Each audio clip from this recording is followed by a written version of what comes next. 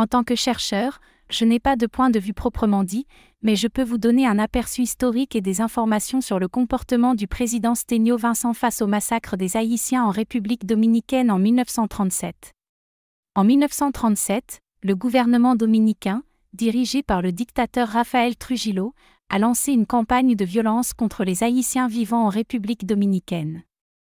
Cette campagne a entraîné le massacre de milliers de personnes, principalement des travailleurs haïtiens immigrés qui étaient employés dans les plantations de canne à sucre. Le président haïtien Sténio Vincent a été critiqué pour sa réaction relativement tiède face à ce massacre.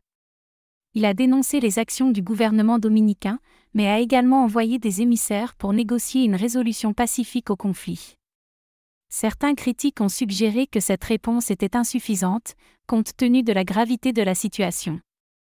Cependant, il convient de noter que la situation en Haïti à l'époque était instable et que Vincent était confronté à de nombreux défis politiques et économiques.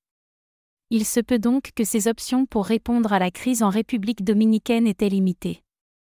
En fin de compte, le massacre de 1937 a eu un impact profond sur les relations entre Haïti et la République dominicaine, et il a fallu des décennies pour que les deux pays commencent à travailler ensemble pour résoudre leurs différends.